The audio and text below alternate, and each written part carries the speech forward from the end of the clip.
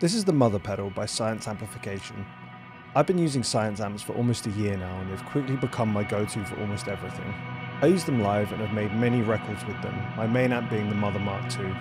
Today we're going to be looking at the Mother pedal, a scarily accurate solid-state recreation of the preamp. Like the amp, it has two channels and is designed to both be used in front of an amplifier as a pedal or with a power amp IR setup.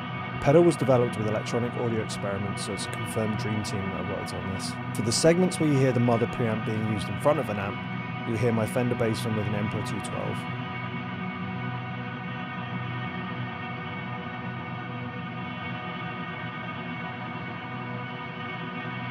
Let's dive into the controls first.